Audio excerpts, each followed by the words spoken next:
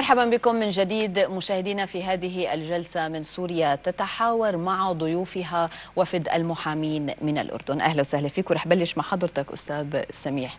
أستاذ سميح يعني أنت مو أول مرة بتجي بزيارة على سوريا منذ بداية الحرب عليها.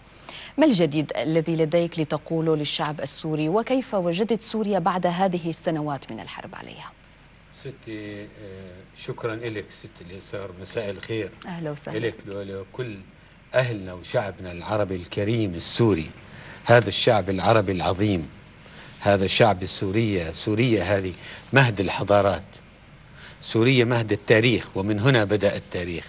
سوريا هذه الحقيقة أيضا في هذه البقعة بلاد الشام عموما هي ينبوع الأديان.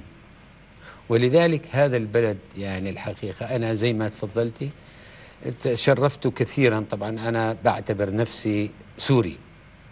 ونحن نؤمن إحنا في الأردن رفعنا شعار أيضا. الأردنيون عرب سوريون. ولاننا جزء من بلاد الشام.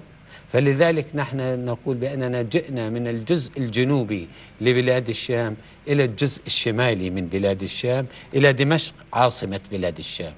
إلى دمشق هذه قلب العروبة النابض كما تفضلت حضرتك أنا للمرة الأولى تشرفت بالظهور على تلفزيون العربي السوري في نهاية بعد 20 4 2011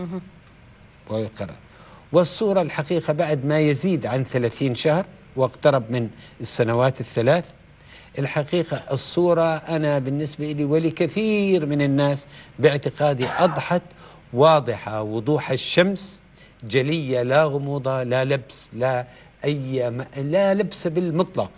لمن يود أن يكون منسجما مع ذاته لمن يؤمن بنفسه وأمته وعقيدته وعروبته وقوميته الصورة أضحت واضحة لا كالشمس أبدا في الظهر.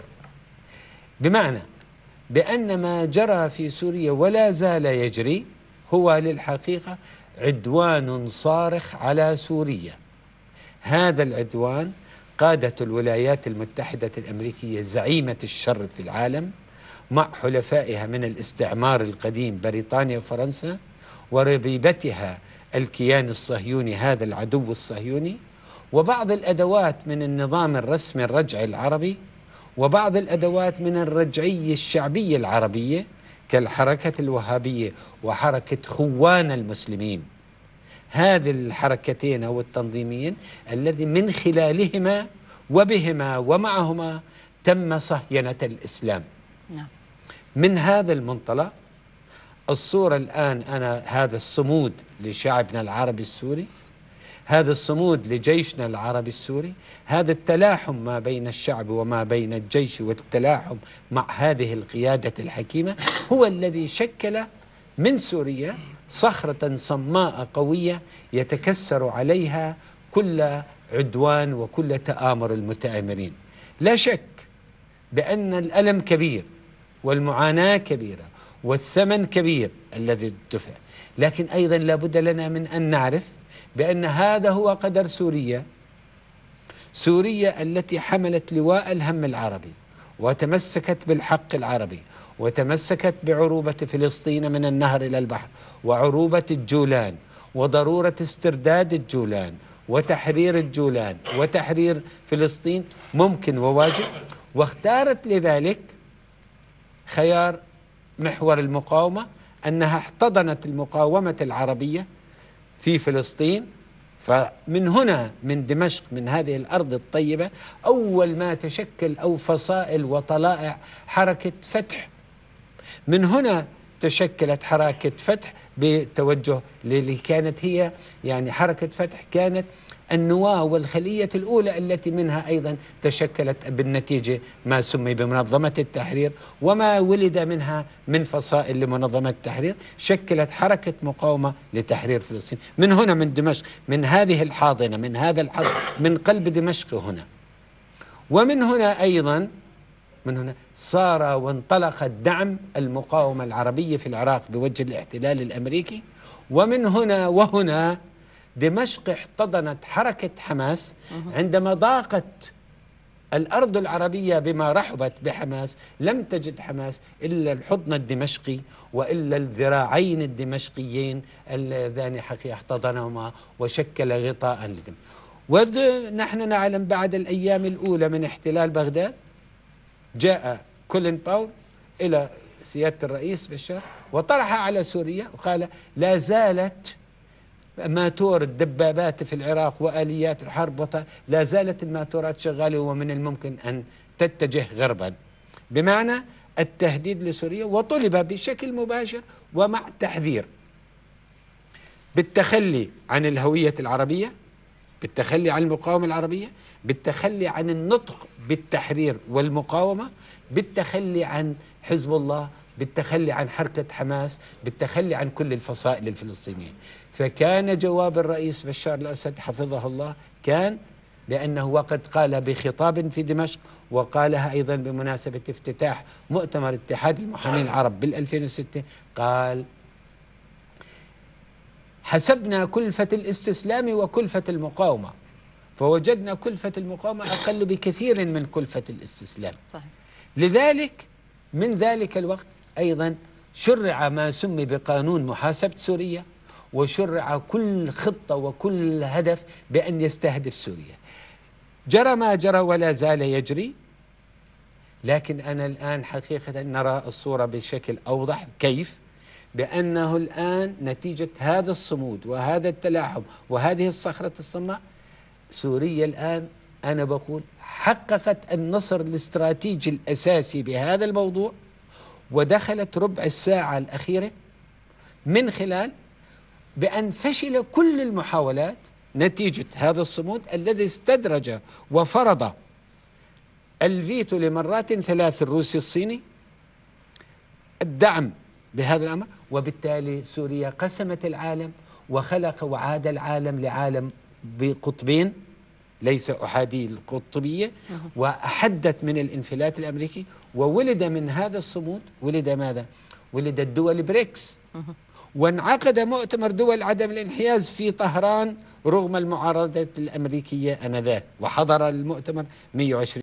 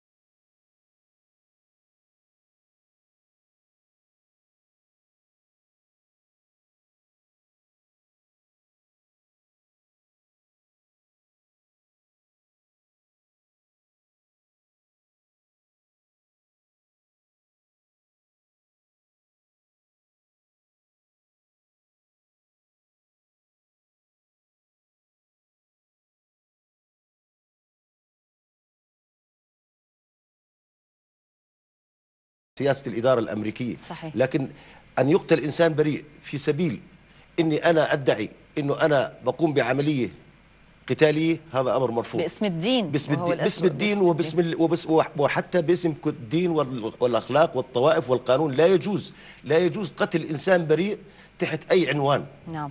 ولا يجوز التفريق ما بين إنسان وإنسان أو طائفة تحت أي عنوان. مهم. يعني من هذا الباب أستطيع أن أقول كلمة أخيرة. سوريا آه، عمرها عشرة آلاف وربما أكثر وبعتقد هذه البيادق التي تجول وتسرح وتمرح في بعض زوايا حارات سوريا لن تستطيع أن تكمل المشوار. لأن سوريا أكبر منهم وهم لن يستطيعوا أن يبلعوا يبلعوا سوريا. سوريا الله الله أودعها أمانة بيد رجالها ورجالها موجودين على الساحة. نعم. وبالتالي لا خوف على سوريا.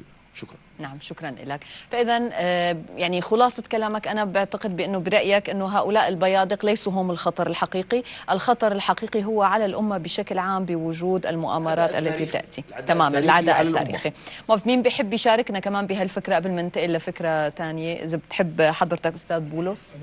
بداية لا بد من توجيه تحية إجلال واعتزاز وإكبار إلى سوريا الدولة بأقطابها الثلاث قيادة والشعب والجيش العربي السوري البطل الذي يجسد بشكل يومي انتصاراته دفاعا عن الأمة العربية في محاربة الإرهاب ودفاعا عن العالم أجمع وهو يخوض معركة ضد الإرهاب العالمي الذي يأتي إلى سوريا يعني تقريبا من 87 دولة. تم تجنيد الإرهابيين لدخولهم إلى سوريا من أجل آه، ممارسة إرهابهم على الدولة السورية. بعدين آه، بداية لابد من آه، توجيه تحية إلى الفضائيه السوريه وكل المحطات السورية المقاومة التي تمارس دورها على أكمل وجه في ظل الحملة الإعلامية الشرسة التي تمارس على سوريا.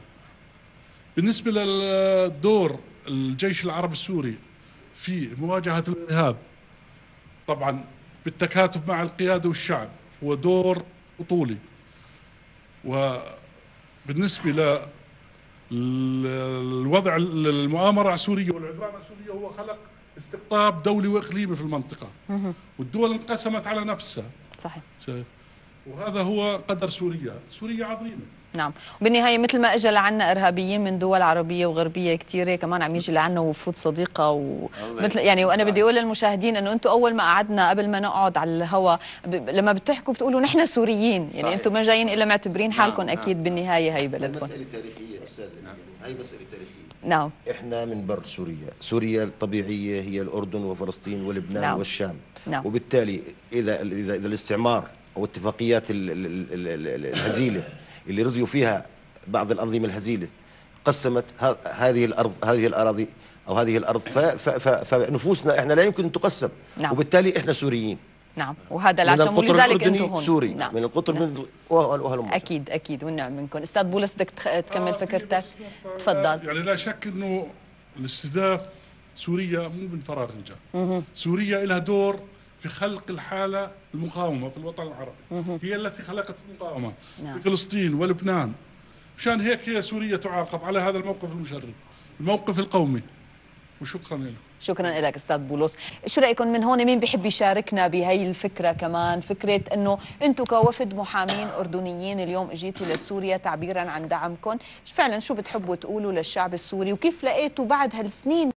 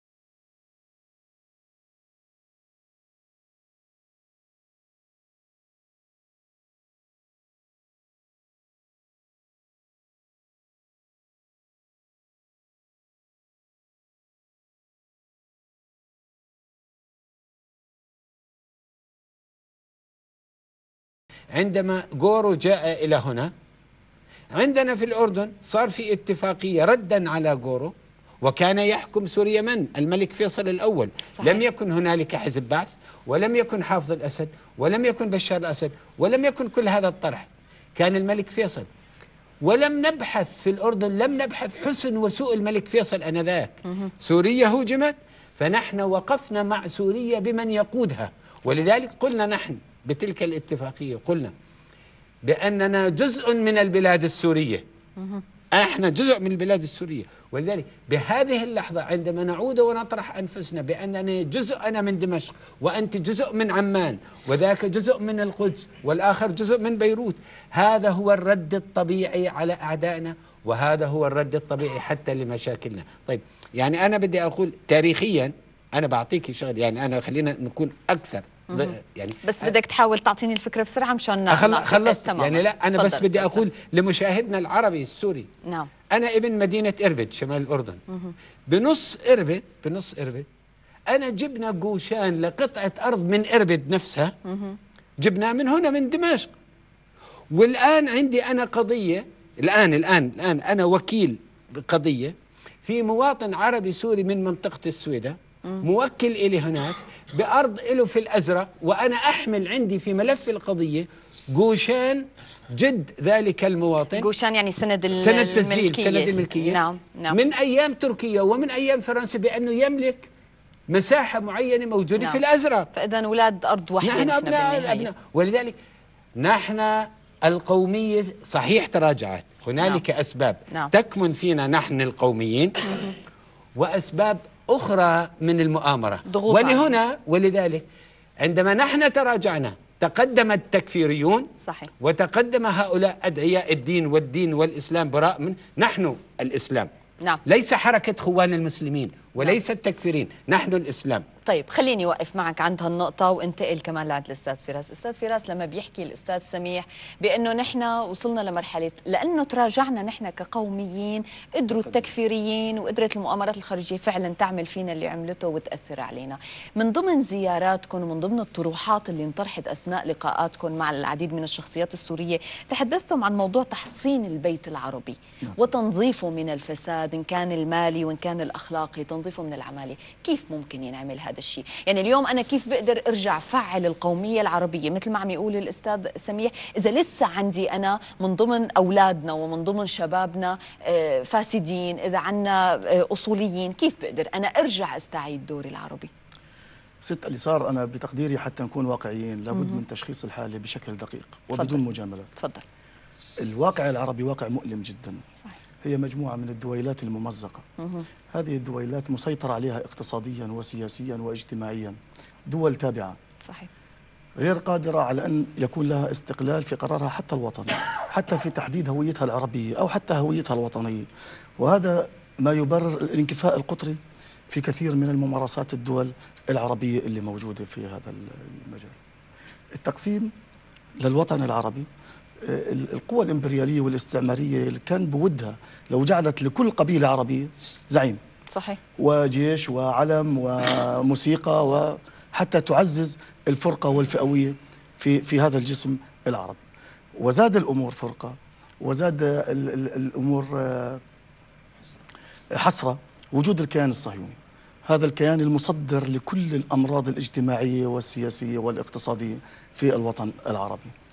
الهوية العربية مستهدفة وسوريا الآن تخوض الحرب باعتبارها آخر قلعة صمود آه، تدافع عن هذه الهوية العربية.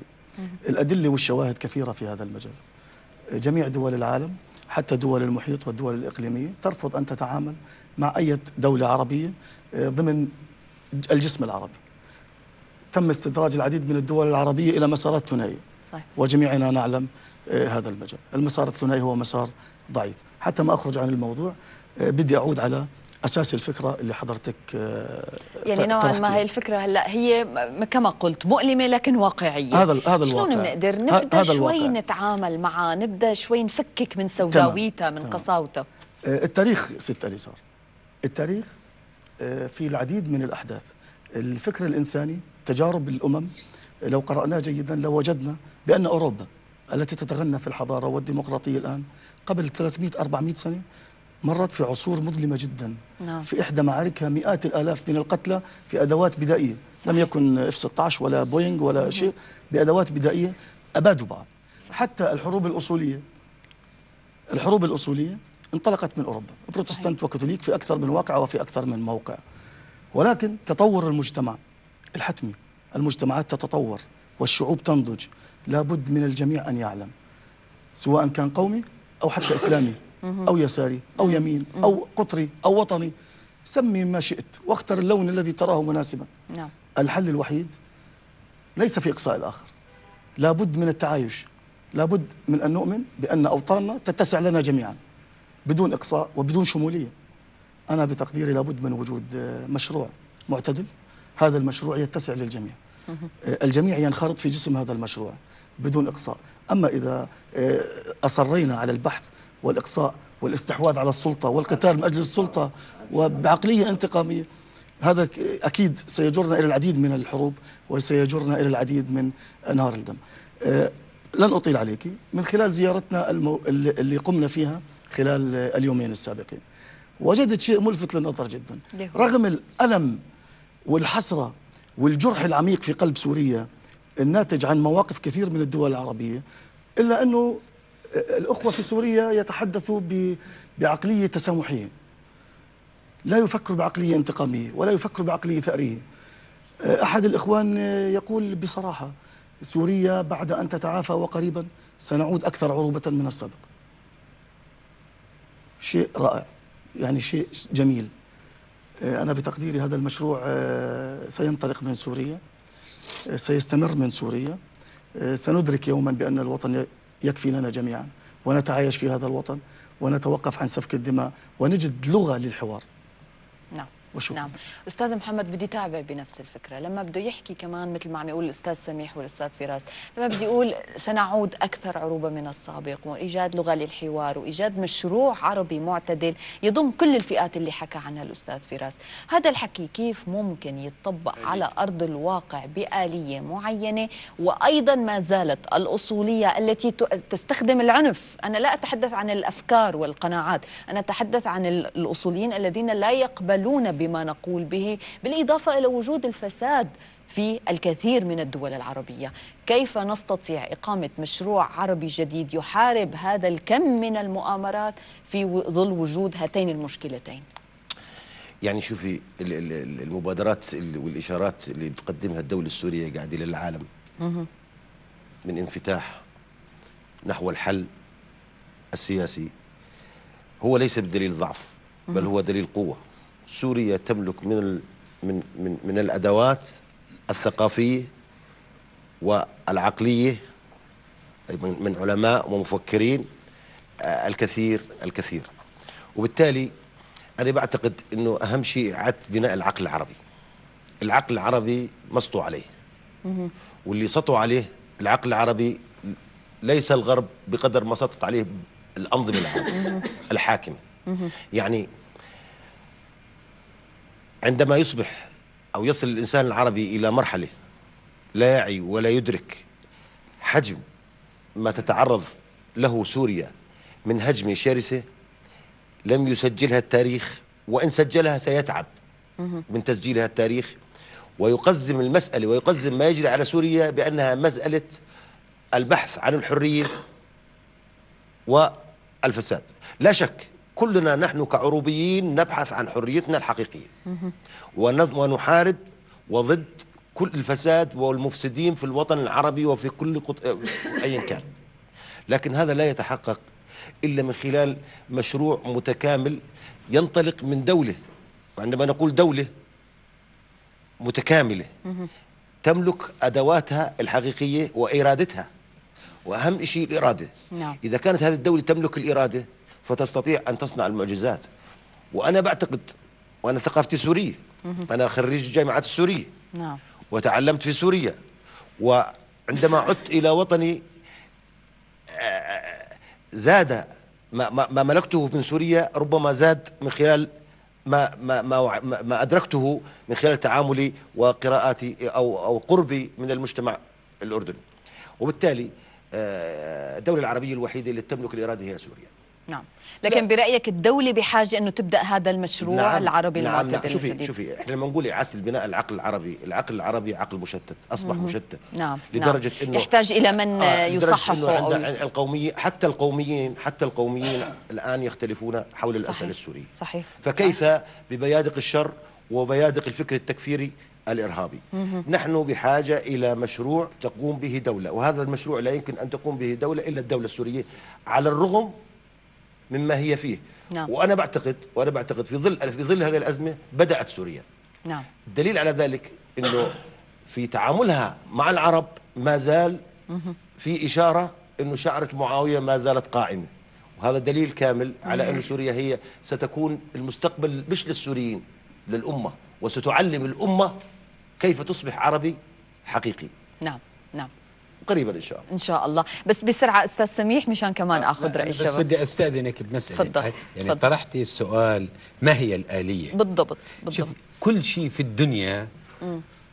كل شيء في الدنيا هلا أكبر سيارة في الدنيا مهما كان موتورها صغير مم. في شيء اسمه switch صحيح إذا ما في switch لن. يشتغل الموتور صحيح. وإذا ما في سلك الدفع. ما في ولذلك أي شيء بالدنيا بده محرك المحرك أنا باعتقادي هنا الآن إن شاء الله بعد ما سوريا تنتهي بتحقق هذا النصر الاستراتيجي أنا باعتقادي آلية العمل داخل الدولة مهم.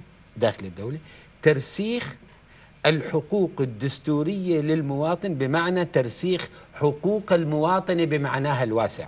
بتعبير آخر أعطيك نحن بال 2013 بال 1944 مهم.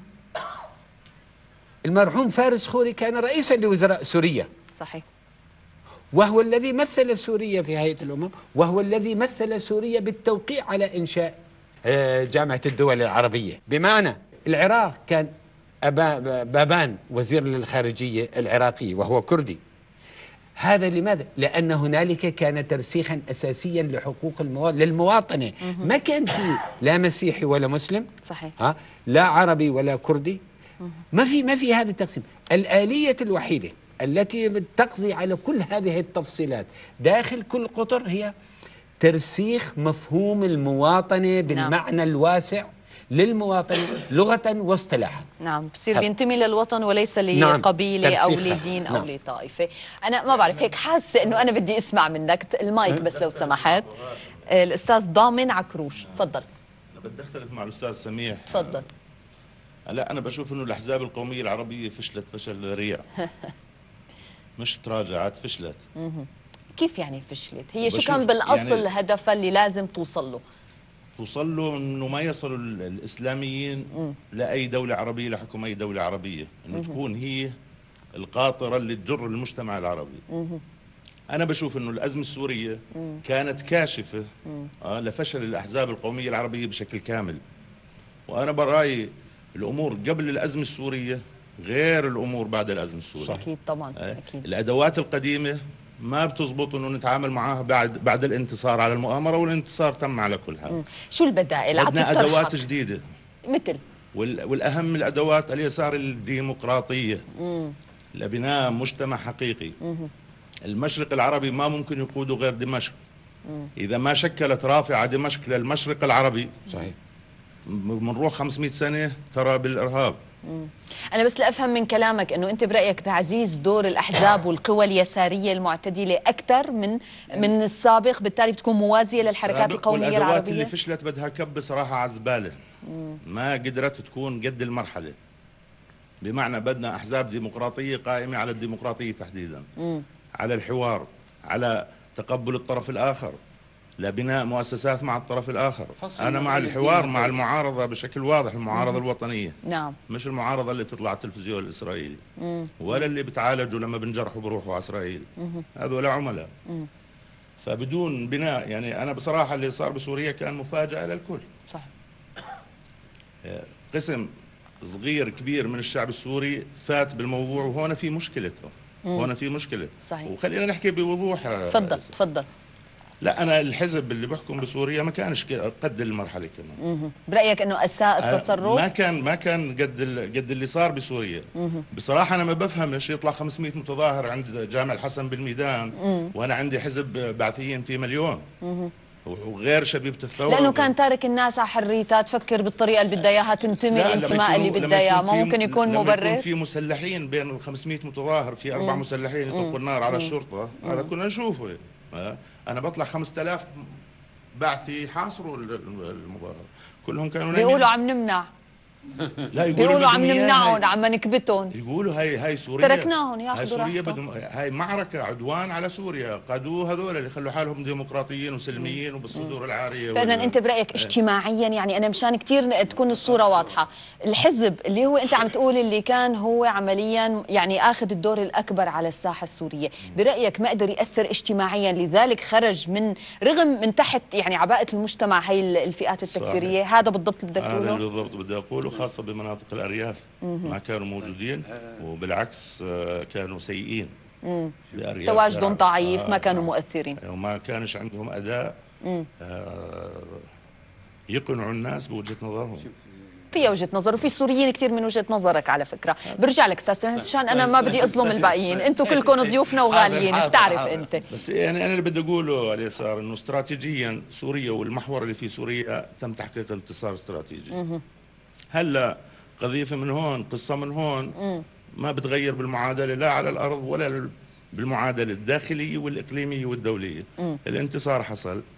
هلا يعني اللي اللي اللي بنحكي فيه إنه لا هلا سوريا بدها تبني رافعة للشعوب العربية بالمشرق العربي. رافعة ترفع الشعوب العربية وتشكل نموذج. النموذج بالأساس ديمقراطي حقيقي وإحنا مع كل المعارضة بالحوار. الناس اللي فعلا سلميين آه للحوار وبناء دولة سورية تكون نموذج للأمة العربية. نعم بشكرك على رأيك. مين بحب كمان يشاركنا بهذا المحور؟ آه، بس أنا باخذ حدا ما حكى قبل. أستاذ أمجد كأنه عندك رأي؟ لا لا معلش أنا بدي عندك أستاذ أمجد. معلش تفضل. أول شيء مساء الخير. أهلا وسهلا. أشكر الفضائية السورية وأوجه تحية للشعب السوري والرحمة لشهداء سوريا. قرب المايك لو سمحت. آه، اللي قضوا نتيجة العمل الإرهابي والإجرامي اللي بدور على الأرض السورية. بدي أرجع للتساؤل اللي طرحتيه في البداية ماذا فعلت القومية العربية؟ تماما. نرجع آه، السؤال راح يكون بسؤال. لماذا هكذا هي القومية العربية؟ لماذا؟ وما هي الأسباب التي أدت. أكيد إحنا يعني بنعي بأنه في إحنا أمام عدو تاريخي وهذا العدو له يعني عملاء في المنطقة العربية. فكانت العملية ممنهجة. في الأمة العربية والوطن العربي بخلق حالة من أزمة الفكر عند المواطن العربي. من خلال الهويات الإقليمية ومن ثم الهويات الفرعية بحيث أني أنا آه، درزي علوي ولا آه، كذا بالضبط الهويات الدينية وال آه، الإقليمية نعم هاي كليتها يعني كانت سبب من الأسباب التدهور. الخطاب وكان ضعف الخطاب القومي العربي. أدى للي إحنا حاليا فيه وما تشهده سوريا. آه، لماذا سوريا؟ سوريا آه، بعيد نفس الكلام مشان عدم التكرار اللي حكوه زملائي موقفها من القضية الفلسطينية وحركات المقاومة مهم. موقف سوريا لابد أن ترفع راية الاستسلام سوريا في هذا الموضوع. نعم هذه هي النقطة الأولى. نعم سوريا ما زالت تدرس في مناهجها الدراسية أن هناك عدو صهيوني يحتل أرض فلسطين مهم. بينما الدول العربية الأخرى مهم. عملت عليه هذا المنهاج أو ألغته نعم. حيث أنه في ناس بطلت تحكي عن قضية فلسطين صحيح بهذا الموضوع صحيح طب أستاذ أمجد هذا الاختلاف بين آه، قناعات شعوب الدول العربية. من كيف بدنا نتجاوزه ونقدر نعيد نعمل مشروع عربي معتدل؟ بغض النظر كيف بده يكون صورة هذا المشروع. إذا نحن أحيانا مختلفين بالفكر باللباس بطريقة الحياة كيف بدنا نكون متوحدين عربيا؟ أنا أنا متفائل بانتصار سوريا إن شاء الله. أن سوريا ستعيد إنتاج الخطاب القومي العربي. بطريقة يعني ممكن إنه آه، تجمع. من خلال إنشاء دولة القانون لابد. إنشاء دولة القانون إذا كان هناك قانون في تساوي بالحقوق والواجبات لكل أفراد لكل المواطنين نعم هذا نعم. يؤدي إلى أنه هنا يكون خطاب قومي عربي واحد بتساوى فيه الأفراد كلياتهم نعم بشكرك على الفكرة دولة القانون مين بيحب الأستاذ تفضل بعد أهلا وسهلا نناقش الإحباط القومي أنت نعم. إنه الموضوع محبط جدا يعني بالنسبة هو للقومية. أنتوا قلتوا أنتوا. أنتوا الأستاذ فراس اللي محبط اللي كان من قلت. شوي. لا. لا هي الحقيقة بدأت فيها الأستاذ آه اليسار طيب. هناك إضافة لك إلى دولة القانون. لغاية الإجابة على سؤالك والحل. تفضل. يا احياء ريت. القوميه العربيه واحياء الفكر العربي. والتعددية بشكل عام. الخطاب الإعلامي. نرجع للخطاب الإعلامي كان أها، دور خطاب الإعلام شكرا كان خطاب تقليدي جدا. وعمره ما خاطب العرب المواطن العربي بعقله كان يخاطب بعاطفته يخاطب مثل ما بده القائد مم. مثل ما بده السياسي إلى آخره. هذا. اثنين الدراما العربي مم. كانوا يتهاوشوا على الطبخات بالمسلسلات. الكبسة السعودية أطيب من مش عارف إيش الكويتية مضبوطة هذا هذا الحكي مين اللي بيخطط إنه مش الدول هاي الدراما الإعلام مش هذا جزء من الديمقراطية العربية من الديمقراطية العربية اللي راح توصلنا لمرحلة اللي بتخش قاعدة ب- كل بيت بكل دقيقة صحيح هاي صحيح. لو ركز عليها برأيك ما. خاطبنا المواطن من خلال الإعلام لا. أو من خلال كيف بدنا نصل لمرحله كيف بدي أغير فكر الشاب الأصولي هذا اللي بتحكي عنه. أنت الارهاب كيف بدي أغيره طيب بقول لك أنا مثلا هي بما إنه وصفتني بالإحباط هو أنا ما ب- ما بحب أخذ الأمور بإحباط لكن بحب شوف الن- الناحية السيئة فيها أحيانا أنا لما بدي لما عم تقول أنا كيف بدي خاطب هالشاب الأصولي؟ طب ما فينا ننكر إنه هذا الشاب الأصولي ممكن يكون من طبقة فقيرة وبالتالي قدر الآخر يعطيه مصاري ويعلمه ويزوجه ويشغله بينما أنا بغض النظر عن فكري وقيمتي وكل ال- الوعي اللي عندي بس أنا ما قدرت حياته فيه حكى فيه وحاجاته. الأستاذ فراس. هذا نقص بالديمقراطية، لو في ديمقراطية ما بيكون في فقر مدقع بالطريقة اللي تشتري واحد، لأنه بيكون منتمي لشيء معين لا يباع. بمبلغ سواء كان المبلغ قليل أو كثير، على كل حال إحنا بالمشوارنا هذا يعني، أنا زرنا من دولة الرئيس لوزير الإعلام للامين المساعد ونقيب المحامين إحنا شعرنا مش متفائلين أكثر منا أقول لك هم أعادوا شحننا. صدقا أعادوا شحننا. شعرنا بالراحة إحنا هون. لأن أنا عالم بيفكر وبيحكي بعقل ما بيحكي بعواطف وبيخطط وشعرنا إنه يعني ما ظل إلا أقول لك راح الكثير الكثير الكثير. وبقي القليل القليل نعم. وستنتصر سوريا بإذن الله نعم ومن هون لحتى يكون هذا القليل خلص نحن. بحاجة جهودكم معنا لذلك بنشتغل. نحن عم نناقش هذا بنشتغل. النقاش أكيد في حدا حابب يشارك تفضل أستاذ أيمن اولا. أنا بشكر ال- ال- الفضائيه السورية أهلا وسهلا فيك وبرجع على السؤال مباشرة اللي هو عن ال- القومية العربية مم. أول شيء القومية العربية يعني مرت بحوالي 30 سنة مم. فيها نوع من الركود مم. وتدخلت العوامل الخارجية مم. والضغوط على الدول العربية صحيح. وحتى صار استقطاب لبعض الرموز القوميين مم. ومشاركتهم في كثير من الأحداث والدخول في السياسات العربية اللي هي آه، كان شوي بعيدة عن القومية وما كانش ال- الخطاب تاعها خطاب قومي. فالآن بعد ال ال- 30 سنة صار في انتكاسة، صار في أزمة بسوريا وهي قلب ال- ال- الوطن العربي وقلب العروبة وقلب ال- ال- القومية العربية.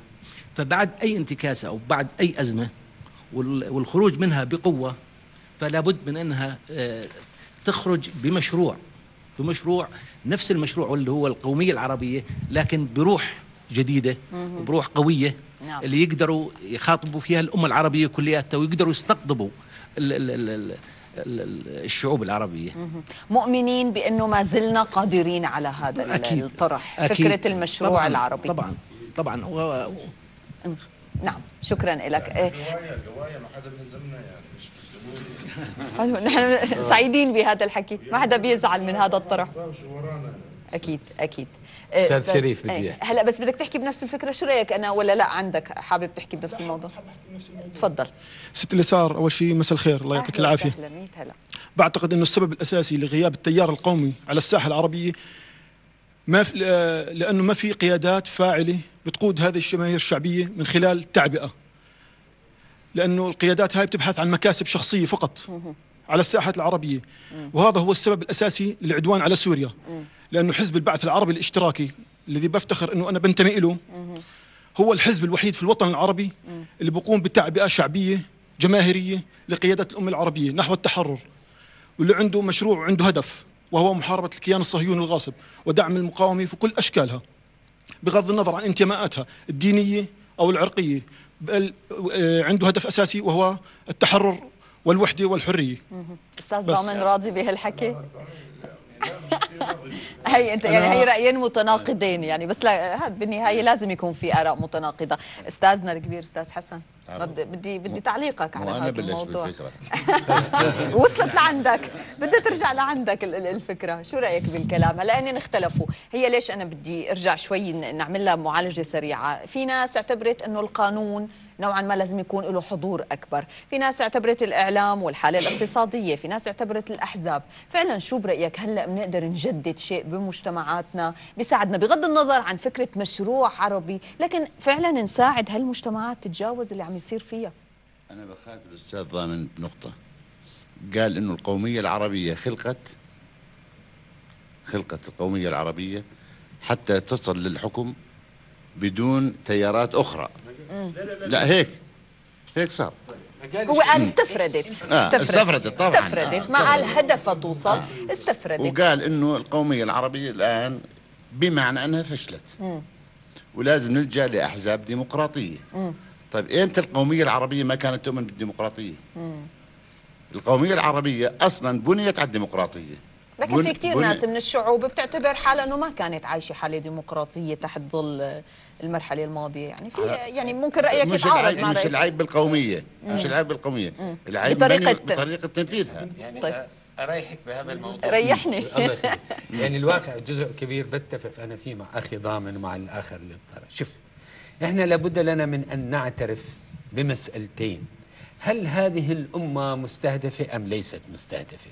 هذا واحد مم. وبذات الوقت أنا بقول مستهدفة والله أنا- بعد كل هالوقت لسه عم نسأل مستهدفة يا طبعا طبعا سميح والله يعني, مشكلة يعني لا ما والله مشكلة ما, ما هو ما هو المساله لا المسألة هلا اسمحي لي النقطة الثانية أيضا لابد لنا من أن نعترف بأن النظام الرسمي العربي من محيطه إلى خليجه دولة أمنية مم. كويس ولا أستثني أحدا بما في هنا سوريا نعم. وبما في نحن في الأردن مم. وبما في العراق حاليا وبالعهد الماضي مم. وبما في مصر بكل المراحل أنا ما في لكن أنا تقدير طيب اللي بقول الديمقراطية طيب هاي الهند.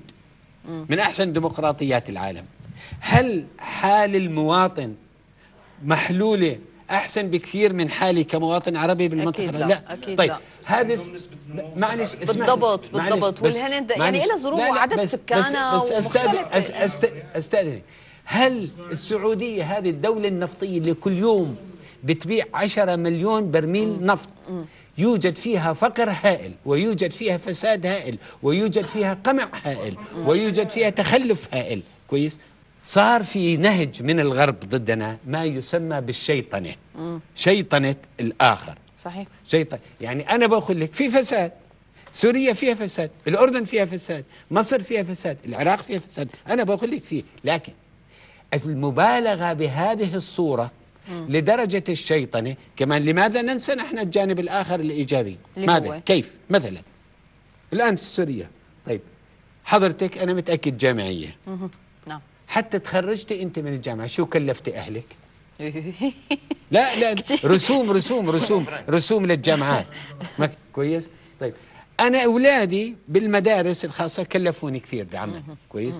العراق في في مثالب مثلا عن الرئيس صدام الله يرحمه على عينه لكن لابد لنا من أن نعترف له بأنه قضى على الأمية مم. بأنه أمم النفط بدك تقول بأنه كان كويس. في اعتناء في شيطنة. بالتعليم آه آه لا لا في شيطنة من الغرب علينا نعم. لدرجة أنا بقول لك أنا مع اللي تفضل به أخي الكريم الأستاذ ضامن لكن يعني وب- وبقول صار في تراجع وفي حد كبير من الفشل يعني بمعنى حزب البعث العربي الاشتراكي حينما يصبح خصم بعض البعض. ها نحن نعيش نحن نعيش يا أختي الكريمة يا مواطنين ما يريدوه. لنا. ما يريدوه نحن نعيش الآن نعيش نتيجة فرقة وخصومة دمشق وبغداد عبر عبر مر- وخصوصا بعد مرحلة خروج مين؟ خروج من القاهرة من الخندق العربي نعم لكن أيضا بنفس الوقت العلة ليست بالقومية لما قلت أنا ترسيخ حقوق المواطنة كآلية. هو الذي يقضي على هذه الصراعات. وبالتالي أنا ما بفتح مجال ولا بعطي مبرر لإبراز نقاط التظاهر من الإثنيات الموجودة. ومن أنا ما بت... يعني أنا ليش طرحت فارس الخوري رئيسا لوزراء سوريا نعم فارس ولماذا طرحت أبان ب- بابان الكردي. في العراق وزيرا لخارجية العراق فترة طويلة. إنه لماذا؟ دين آخر طيب، ودين نور السعيد نور. السعيد. نور السعيد كردي. نعم. ورئيس وزراء العراق. نعم. طيب هذا الأمر معناته لما بكون أنا في